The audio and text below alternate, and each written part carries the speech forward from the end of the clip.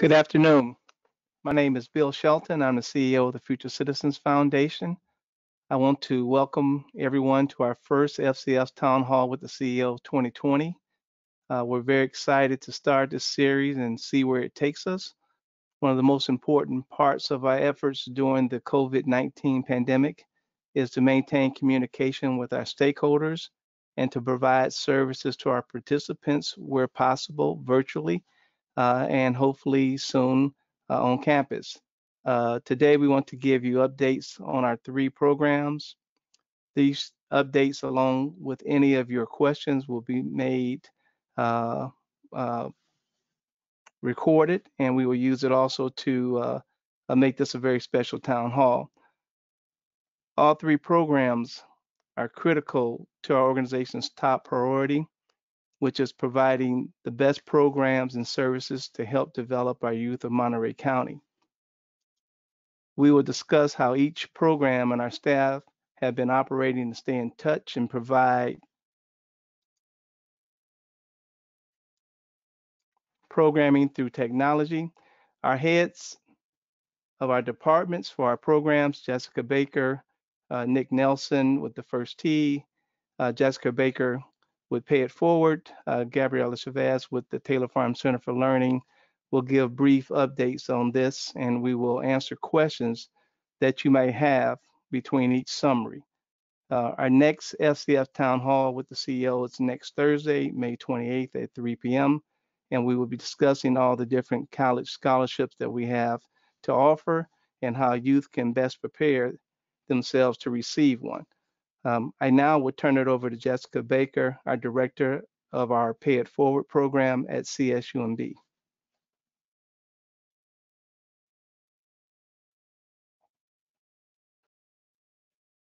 Hi.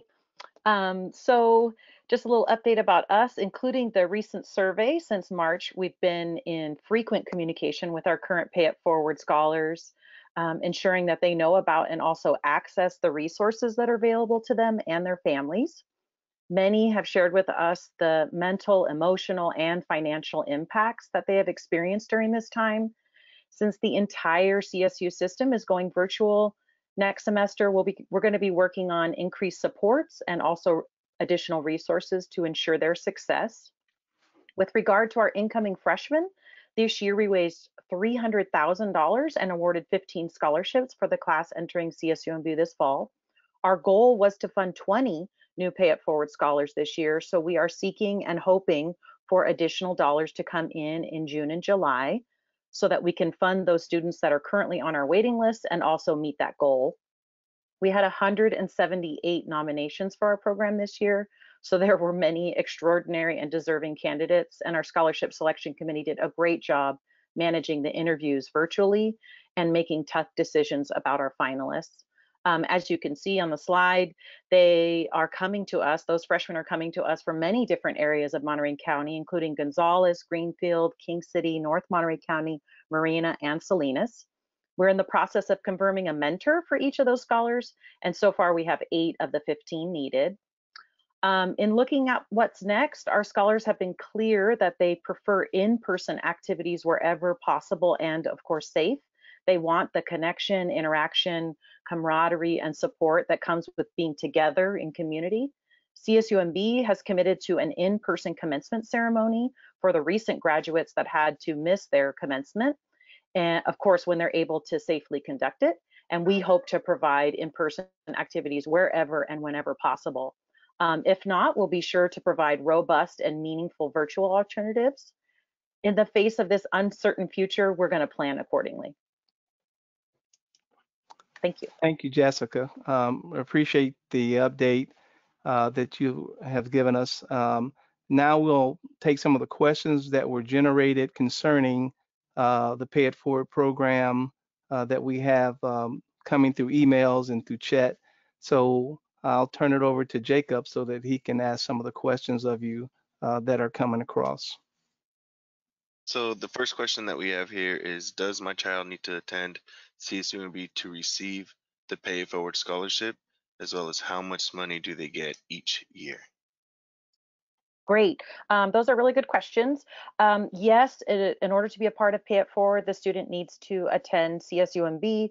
That's because the program actually started and was initiated um, as a local program for local students, ensuring that you know Monterey County residents um, support the local college. And so yes, you have to go to CSUMB, and then the students are given $5,000 a year. How we how we distribute it is actually $500 a month um, for 10 months out of the year while the program is in session.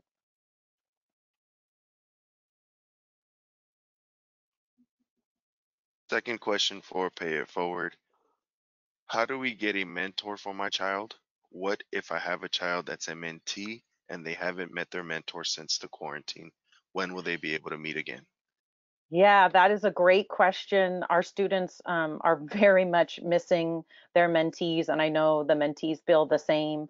Um, so we're working, we're actually working right now on how to do something virtually. Um, we were concerned about how to, you know, manage that uh, liability wise and for a lot of other reasons. And so we're we're working on that. We're actually meeting um, as a team, I think next week to discuss that. So hopefully soon and we encourage them um, to maintain contact over the phone. So, so we, we highly encourage phone contact.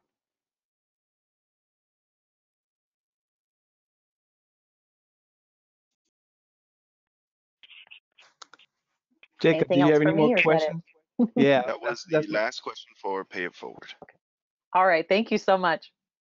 Thank you, Jessica. Um, and you can always email her or you can email me uh, with additional questions, or if you have questions for us later, we'll have a, a, short slot open and available for people to submit some more questions later about any topic uh, outside of the three programs, and we'll try to address those too. Um, I'll let Nick Nelson, our director of the First Tee, uh, now present his information and then answer questions immediately following. Good afternoon, everybody. This is Nick Nelson, Executive Director for the First of Monterey County. Uh, so glad you could join us today. Um, we did get some questions in prior to the uh, the meeting, and um, and so I wanted to really just to, sort of kick off um, answering those questions first of all. The um, one of the questions came up about how are the staff doing? How have they been impacted by this stay-at-home order? Well, I'm pleased to report that uh, all of us, including myself, have learned some uh, great new skills. Um, the skills seem to fall under the categories of the of the life skills that we work with all the children on, and that would be interpersonal communication skills, goal setting, resilience skills, and self-management skills. The um, they've also, uh, which, which I'll get into a little bit deeper, um, have have made some incredible relationships with our community um, not just children, but parents, teachers, suppliers, even donors through this time through a, a, mass communication program that we've been conducting. So the staff are doing well. Um, we've we've uh, given um, everybody a certain um, an, an, ample uh, amount of time, which we're very proud of, and uh, getting a little bit more deeper into have the staff been able to impact people's lives during the past 10 weeks? So this is what we're all about. This is our mission. And uh, I'd say a resounding yes. We uh, began a, a program uh, nine weeks ago now. Can you believe it? We called it Operation Touch Everybody. And, uh, and this was a, a, a just a, huge undertaking. And we, uh, we trained the staff how to um, make uh, basically contact people through the phone, like, almost like telemarketing uh, to establish new friendships, new relationships. They've done an outstanding and fantastic job of that. In fact, yesterday we marked a, a milestone in um, OTE, and we have made over 10,000 calls to community members throughout Monterey County. It's quite an unbelievable feat. We've also been conducting uh, virtual programming, where for nine weeks we conducted Facebook Live classes every day, Monday to Friday at four o'clock, which is our usual after school programming time. Those were those again went fantastically. We we had reached up to a, a thousand views with some of the videos. Um, a couple of coaches have also worked and reached out to uh, many participants, and they're also conducting um, live classes with small groups online. They've used various platforms, including Google Hangouts, um, Teams, and uh, Google Meet. And then we also still didn't forget our valuable volunteers, even though they're not able to uh, impact children's lives personally and, and with uh, direct contact anymore. We were able to still recognize them uh, during National Volunteer Week with our uh, Flipgrid videos. Is a new platform that we discovered, and uh, our staff um, took various videos and and just thanking and appreciating the volunteers. And and we got some marvelous comments back from all the volunteers. So we're we're we're keeping in touch with everybody. So we've looked at really sort of the past. Well, let's look at uh, at the future now. So what are you going to do for the next 10 weeks? And uh, and our, our, our most exclamation point is going to be summer camp. Um, I, we, we're going to be able to produce sort of a, a hybrid type of summer camp this year. Obviously, it won't be the same. You can see the little photograph up there with all the youngsters, you know, being nice and close and um, you know sharing their their fun Western day there. Um, so we've had to work very hard to revise the program, and uh, and it will be provided in person and also with some distance learning. We're still starting to uh, planning to start on uh, Monday, June 8th, which was the original day of summer camp. The, the final details will be releasing next week, uh, but we're really looking forward to having a wonderful time. And obviously, you know, still adhering to all the state's uh, safe and health, uh, safety and health rules. Thank you, Nick. Um, Jacob, I think you have some questions for Nick. I, I, know I got a few that actually came through my phone. I don't know how that happened, but a person sent me a question through my phone uh, about um, about, and I'm going to ask this if you don't mind. Uh, it says, uh, can a kid get virtual golf lessons uh, during this, you know, period until we uh, get campus back open? Absolutely, yes. we've, as I said, for the last nine weeks, we've conducted a, a Facebook Live classes. We conduct them at, many different areas of the uh, like uh, the clubhouse and the teen center, even my office, and uh, and so we showed that it was possible to play some golf and and practice and, and sharpen your skills inside. And, uh, and then we also conducted some outside. So you know we're assuming that that uh, some of the children have got some backyards where they get out and swing. I believe Coach Tim set up a sheet between a doorway and was hitting almost full shots not not not really recommended at home, but uh, it is possible. And um, we we've also conducted these uh, smaller classes uh, where they're interactive, they're live and interactive, and so the coaches will uh, meet with the participants. Uh, we've had small groups where between five and ten participants and one coach, and uh, and the coach has a lesson plan, still delivers the same curriculum, the golf and life skills experience, and to make it interactive, he's asked them to uh, participate in certain things. They'll say, okay, what I want you to do now is to is to go outside and do uh, one minute of warm-up exercises. So they'll they'll come back in if they've got their phone, they take the phone with them, they'll come back in and they'll share that experience. Then he'll say, okay, now next thing we're, we're going to go outside and uh, practice a couple of pitching swings. So yes, we've been able to do that. With regards to um, sort of fine-tuning, you know, individual uh, sort of golf lessons, that's something that we're definitely looking forward to uh, being able to conduct at camp. Thank you, Nick. Uh, Jacob, I know you're getting questions. I'm still getting questions sent through the through my phone by text from some people. Uh, and I know that we can also, people can also ask questions in the questions section uh, of your of the, of the chat part. If they look at the in their side of their chat, they can ask questions in the questions part of that. Jacob, I'll let you ask some of the questions I've seen roll across the screen actually on in our chat section, check section. One of the first questions that we have is when will summer camp start and what does it look like? Great, excellent. We are uh, anticipating opening uh, as as you know scheduled at the beginning of the year on Monday, June the 8th, and um, it is going to be different.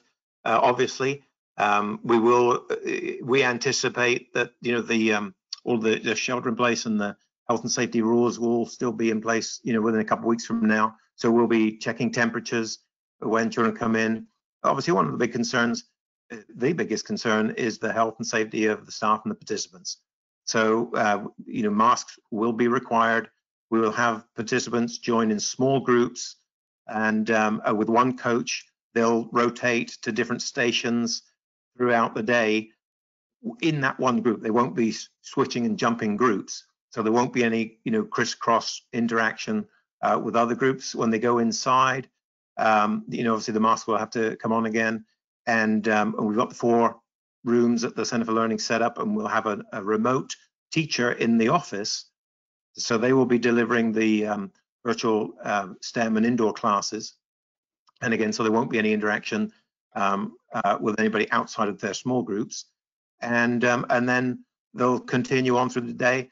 We also are anticipating having, um, you know, a virtual classes available as well. So, um, you know, having a live feed going from the golf course into people's homes where um, participants can can interact online as well. Obviously, then you know the staff will have a big undertaking at the end of every day and cleaning everything down. Every child will be uh, issued golf clubs if they don't have their own, so there won't be any changing of golf clubs or sharing of golf clubs. And um, likewise, when it comes down to eating as well, there won't be any um, you know sharing of any food or, or water bottles as such. Another question that we have uh, regarding summer camp is, will there still be field trips this summer during camp? And what kind of scholarship or internship opportunities are available? Oh, these are great questions. I, I love our, uh, our, all of our people. Um, un unfortunately, there won't be any field trips this year. Um, we just can't see how we could, you know, take a, a, a group of participants in, you know, one of the vans to one of the off-site places. I think we're just increasing the chances for, for you know, um, getting sick. Um, certainly, the van isn't big enough to have everybody six feet away from each other. So the field trips will be on hold for this year unless anything, you know, was to change. We we respond pretty quickly to uh, to change, and um, and so you know, if, if it means during the middle of, of the eight week uh, series that we have lined up for summer camp, that the, the shelter-in-place rules and regulations change, then then we will change too. So that's so I, I won't say no, we're not going to do it for eight weeks, but we're we're not having we're not planning it until you know we're in a position to do so. Um, Jacob, could you repeat the end of the last question? What kind of scholarship or internship opportunities are available? Excellent, great. Yeah, we uh, we always offer um, uh, scholarships to summer camp. We'll continue to offer them again this year. And if um, if anybody uh, needs help in that area, all they need to do is to contact us and um, uh, speak with Nayeli and or any of the Reg team, and we'll be able to take care of that. Internships. Um, we're not hiring any new staff uh, for the program, um, but we and and with regards to junior coaches that we've had in the past, helping out and assisting. Um, again, that's something which we're, we're going to take on a one by one basis. Another question we have here, are there any skills trainings available? And can my child borrow golf clubs to practice at home? Okay, absolutely. We've, in fact, we've, uh, we've, we've been giving out golf clubs, um, you know, throughout the last nine weeks. Uh, we do it contactless uh, exchange. So um, all we need to do is set up an appointment. We have been sending uh, a couple of staff members to the campus, um, you know, throughout the week to um, meet with the parents. And so the the parents will, the doors are locked, but we set a certain time. Um, we'll open up the gates. You can drive into the roundabout, and um, the staff member will bring the clubs out and put them in the trunk for you. You can stay in the car, and um, and then take them home. So yes, we've been doing that, and and we'd love to we've got plenty of golf clubs to, to, to give away through you know many generous donors um, throughout the county. So we're looking. Uh, I say, if you need some more, that that will be great. Jake, I'm I'm talking so much, I'm forgetting the last part of the questions. What was the other part of that? I think you covered it, Nick. Oh, you answered them both. You answered them both. And the only reason why I say that is because I see another question popping up. And and what I Ah. want to do is is pause and save a few minutes at the end to go back to some of these questions that are popping up now. Uh, I got a pay it forward question that's popped up too. And I'm going to let Gabriella come on and talk a little bit about the Taylor Farm Center for Learning. Then we're going to double back and finish off the questions and just we'll take the questions as, as long as we need to. We'll run a little bit over uh, with the town hall and answer the questions at the end because we we're getting a, a good uh, slot of questions and um, and um, we want to be uh, cognizant of everybody's time and and therefore we'll let Gabriella speak and then we'll go back and answer the rest of these questions at the end. Hi, everybody. Um, thank you for joining us today. So in respect of time, I'll be uh, brief, but a couple of things that we've been doing with the, the Taylor Farm Center for Learning is we've been filming a virtual experience every about every week that combines the golf and life skills component, a lesson, and a STEM component. So for the first week, we focused, the first two weeks, we focused on digital opportunities through Scratch and through uh, Pivot, which is a stop motion animation. Those videos can be found on YouTube. In case you didn't catch them, they're they're available there, and we're hoping that those will be available throughout the year. Um, in addition to that, we've also been part of the Operation Touch Everyone with the First Tee of Monterey County. Uh, we have one staff member working with us at this moment, and she's been able to do over 500 calls during these eight weeks, supporting Operation Touch Everyone and reaching out, making sure that our participants and our families know that we're here for them. And as we think about looking for, you know, as we're moving forward, in addition to being part of summer camp and being part of the hybrid component of, of summer camp, we are looking at ways that we can still engage with some of our other pillars, you know, with STEAM, with academia, and possibly providing some literacy and some summer slide reading challenges. Uh, one of the things that we're really excited about is sharing with you all is Classcraft quests. These are self-paced um, quests that people can be involved in, which allow um, students to do a, a, myriad of things, whether it's we can challenge and say you read 30, 30 minutes a day and then they pass that challenge and um, or they can also be part of something um, like physical activity. These will be quests that we'll be um, inviting you all. If you're interested as a parent, I encourage you on the questions to write your name and we will go ahead and invite you when our quests are begin. And um, what we found with Classcraft, if you've, if you've been to summer camp or winter camp, if your children have been to summer camp and winter camp, we find it's a really great app online that they really enjoy. They get to create their avatar, have a fun time, and um, then they get to battle. So we're really excited about being able to offer that digitally um, and virtually uh, to our participants. And just briefly, uh, before I leave, I do want to share a couple of things that we've done through marketing um, and encourage you to follow us on social media. We've been, um, as, as, Nick mentioned, we've been using our social media platforms to provide virtual classes and to promote our, um, our virtual experiences. We've put a list of resources available on our website. So if you haven't been to our website, we encourage you to visit. We have several um, links and uh, materials available that you can use at home if you aren't able to, to join us in our virtual classes. And then finally, we have been sending some uh, mailers and infographics about our programs and, um, and events, including ZGALS, um, the Center for Learning, Pay It Forward, and the First Tee. If you haven't received them and are interested in receiving them, please uh, go ahead and put your email in your in our questions portal and we'll make sure to, to have you um, receive those in the future or make sure that those are available to you. So those are all, that's my update uh, for the Center for Learning and for Marketing. Does anybody have any questions? Jacob? There are a few questions that came in that would be uh, for the group, so we'll share those afterwards. I'm going to skip to ones that are just Center for Learning now.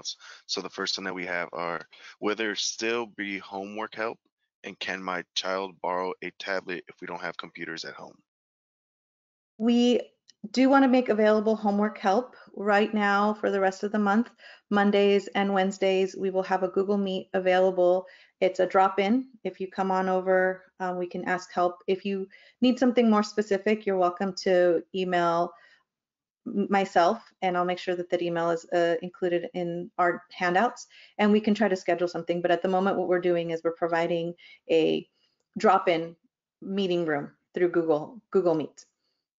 And in, with regards to the tablets, at this moment, we don't have the security measures to, to make that available, but we'd be happy to refer you to programs like um, Loaves Fishes and Computers to be able to ensure that you have access to a computer or a tablet at low cost.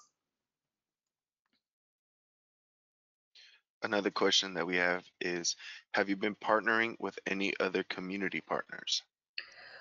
We uh, we've been in discussion with Junior Achievement, and actually, Junior Achievement has a wonderful breadth of support uh, services and activities for students. If you're if you're interested in having your child take part of some after some financial education and citizen education, and you can go to our website, and they're one of our our three links. When you go to um, resources, you'll you'll see them there, and there's several activities. So we are we are encouraging um, those you know families to to check them out. We also were um, able to deliver some STEM and, and materials kits to the Alisal Family Resource Center. In collaboration with the First Tee, we provided some um, materials for the food bank for their food delivery at the beginning of of the of the pandemic. And at that time, we we did provide some STEM kits and some activities for for families. Another question that came in does it cost to go to after school program? It is part of your membership at this time. So if you are a member of the First Tee, you are able to be a member of the after school program at both the Center for Learning and after school for the First Tee. And if you are a an Alisal Union School District, you are a member, and so you would be eligible. Another question that we have is, are there opportunities for volunteers to help right now? And what number do I call to speak to someone at the Center for Learning? Yes, there are opportunities. One of the ways that we are engaging, and if you are interested in art or STEM and you'd like to help us out, is we are we're wanting to make some make available to our students videos like the virtual experiences. So if you have a, if you're interested in STEM and you want to participate in that way and support us in some of our virtual classes, that would be wonderful. Um, and moving forward, as we get closer to our hybrid uh, summer camp, I'm confident that there will be opportunities um, to support the programs.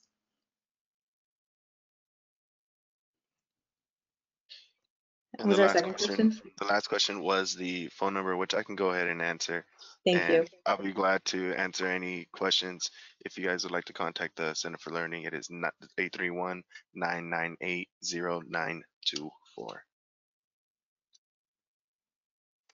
Thank you, Gabriella.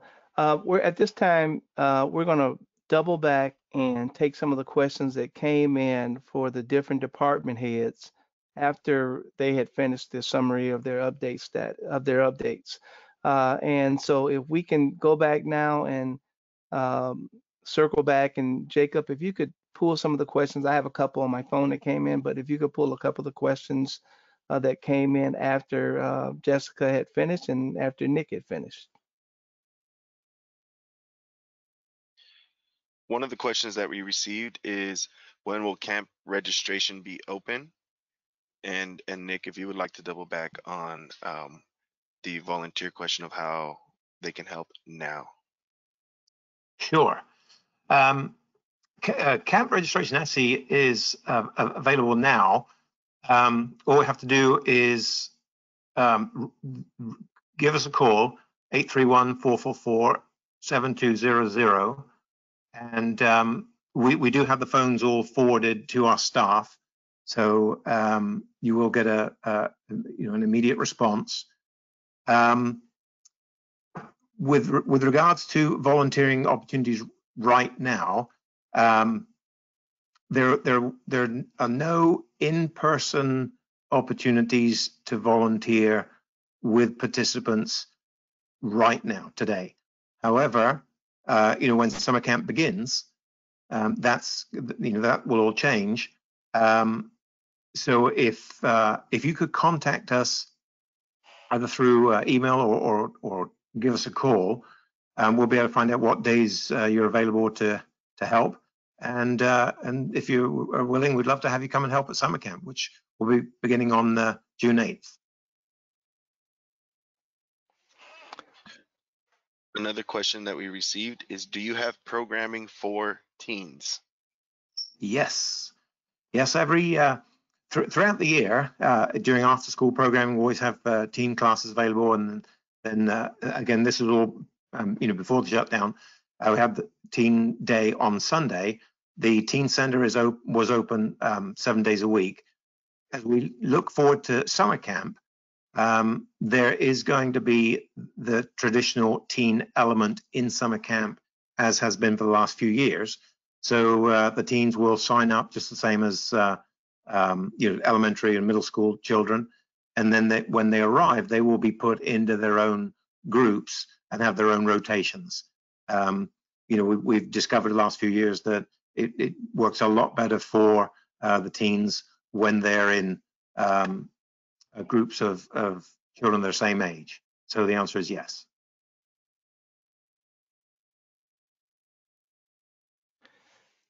I have a question, uh, Jacob, on my on my phone.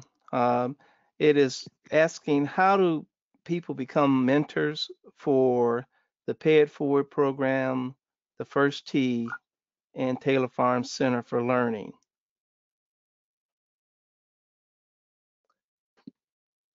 Um, I can speak to uh, Pay It Forward, and it's our website is the place to go for all things related to all of our programs. So if you go to our FCF website, which is fcf-ca.org, and then forward slash PIF for Pay It Forward, or just go to you know where our programs is and click straight to Pay It Forward.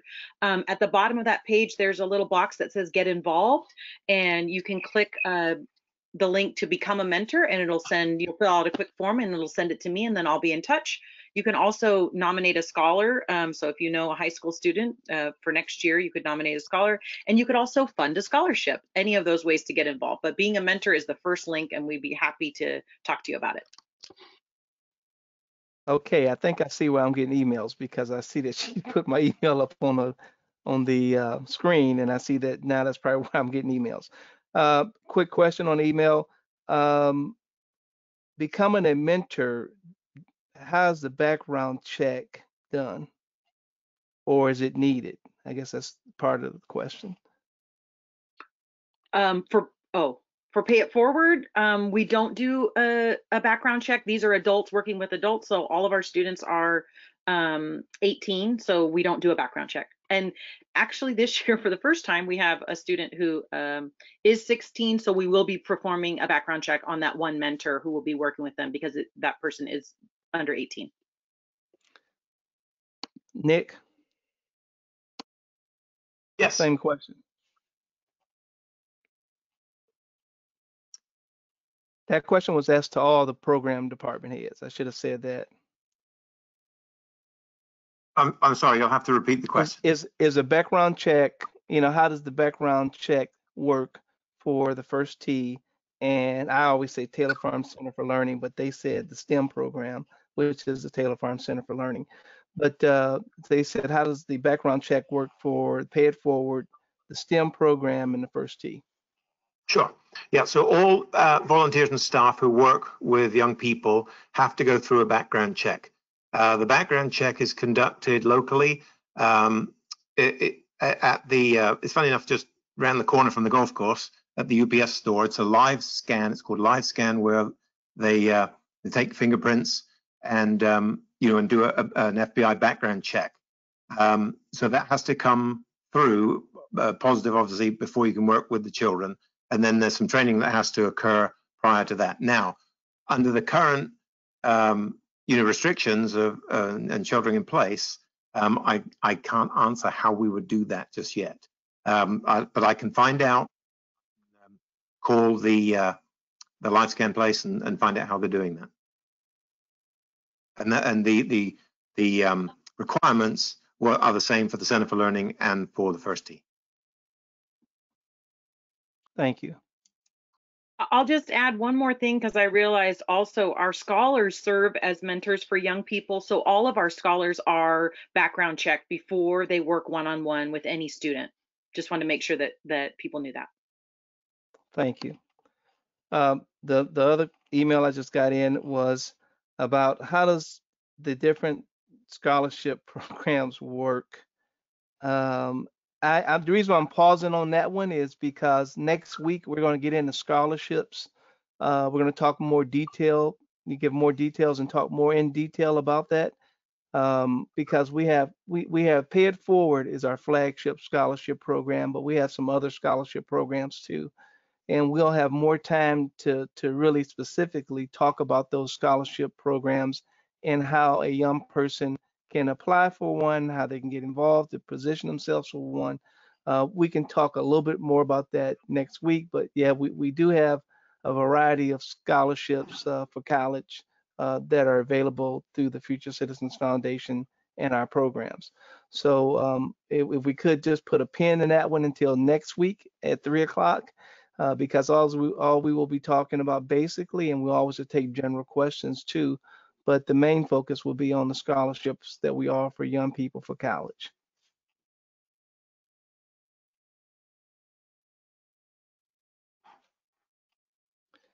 Are there We any other questions? question. Yes, we Okay. do have one more question here. Um, is how are you listed on social media under First Tee or under Taylor Farm Center for Learning?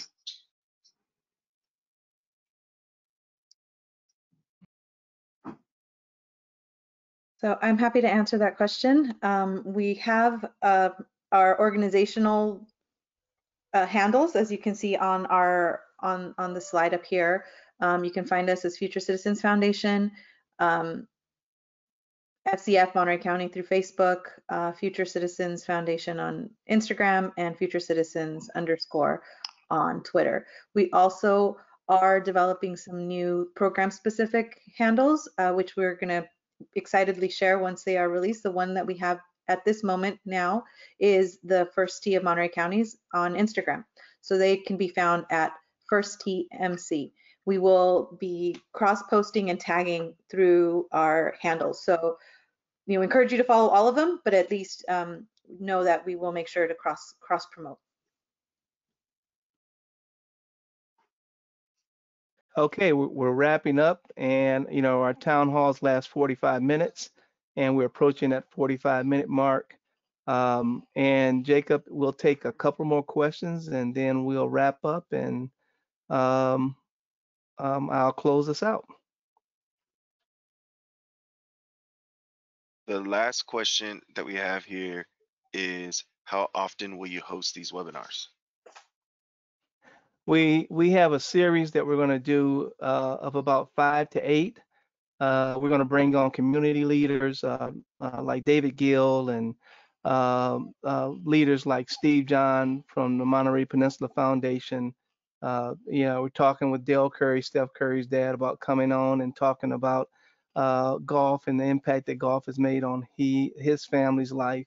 So we're lining up some folks, but um, we are going to be bringing in local people as well as people outside of our community who are somehow connected to us. And uh, we'll be doing these for the next five to eight weeks, and we'll just see how it goes. It's uh, something, as you can tell, uh, is new. This is our first attempt at this, and of course, with anything new, you got to work out the bugs, and we've got a number of bugs that we got to work out, and transitions that we have to do from you know speaker to commentator to host the questions, but we're we're going to continue to do this over the next five weeks for sure, um, and uh, we'll get better at it, and um, we'll be able to uh, bring more of the of the ideals and thoughts from the community that they want to see us uh, talk about and bring on here too. So. Uh, we want this to be a part of our ongoing process uh, throughout the year. So uh, once we get back to some form of normalcy, we'll probably do these once a month but um, under the COVID-19 era right now, um, uh, we're going to be doing these once a week on, on Thursdays at three o'clock. And uh, next week, um, um as I said before, we'll be talking about FCF and all of our scholarship programs, headlined by the Pay It Forward program, the John Zoller Scholarship Program, uh, the First Tee program, the AT&T scholarships that we have uh, through the Monterey Peninsula Foundation. So we we have a number of scholarships that we can talk about, and we'll be talking about those next week. Um, and um, we'll we'll our times are, are, be from 3 to 3:30, 3:45 is our cutoff, and uh, we look forward to being able to answer more questions and, and bring some of the subject matter that the community would like to talk about too. So continue to email us, give us your input, let us know what you would like to hear from us, uh, updates, the type of updates you want to hear about programming, about what we're doing in the community, uh, subject matters that are relevant to the organization uh, from your standpoint as a participant or donor or volunteer. So um, we will continue to do these um, uh, for the next five to eight weeks.